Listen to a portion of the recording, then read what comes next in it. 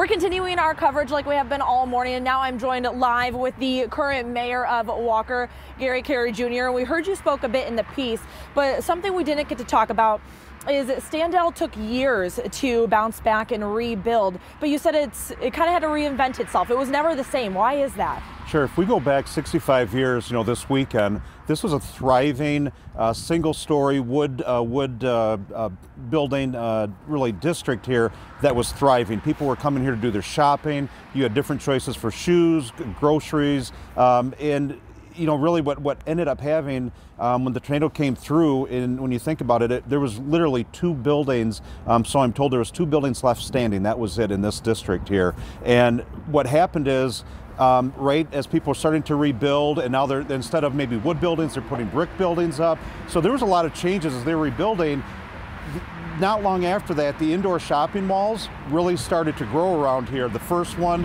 um, second one the third one and people found the attraction to go to those locations as opposed to having to drive to the outside and, and walk in someplace was a lot more appealing. You could get everything under one roof. So um, Standale over the years has had to reinvent itself. Uh, we're obviously, uh, as you can see by the traffic behind us and all of the noise, it's a thriving, booming district right now.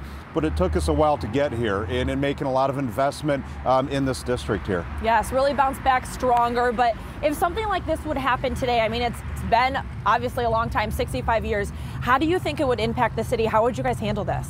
Well, uh, great, uh, you know, great news with the technology uh, introductions, and uh, um, we would have. I, I, think the loss of life that took place that day would uh, be on on a more favorable side. Um, but I, I, think from the buildings, there's things you just can't control with Mother Nature. Um, buildings are being built better now. Our codes are a lot more stricter uh, to, pre to, prevent for something like that. But um, definitely the loss, you're probably talking tens of millions, maybe into the hundreds of millions of dollars in this area if something like that happened again. Yeah, so much, so many more people living here, everything Correct. growth, yeah. And we've got we've got more population too, so you're probably going to have an impact. But I think we'd have that advance warning, um, which is great that we're going through this right now. And you talked about this is not meant to to scare people, and there are still some people that lived through this, um, that went that went through this. It, it, it's it's getting us prepared.